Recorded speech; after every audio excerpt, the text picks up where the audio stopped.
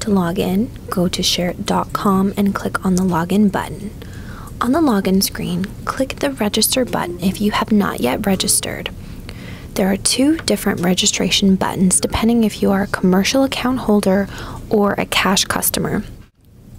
Commercial account holders require the email address on file to register.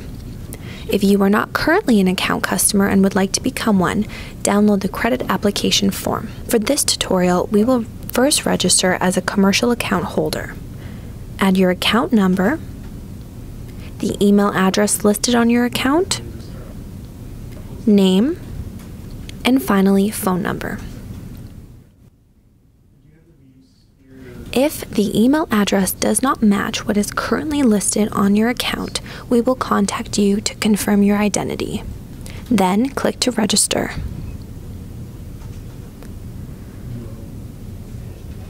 You'll then receive an email with a link to reset your password, like we have on the screen. This link will expire in two hours. Afterwards, you would have to go to the main login screen to reset your password. For now, I will click the link to create my password.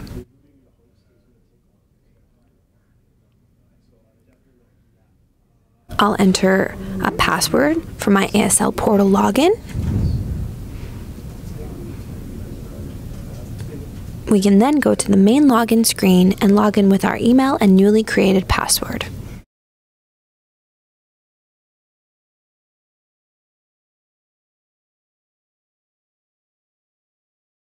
Once we've logged in, this will take us to the main portal screen where we can find account information as well as invoices and statements.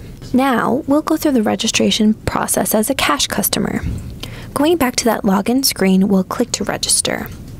This button here is where we can reset our password if the link from the email expires. I'll log in as a cash customer. This time, we will be adding the phone number.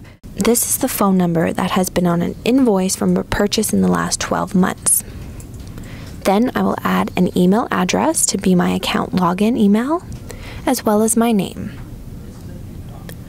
I'll click to register and once again, we'll get an email with a link to create a new password.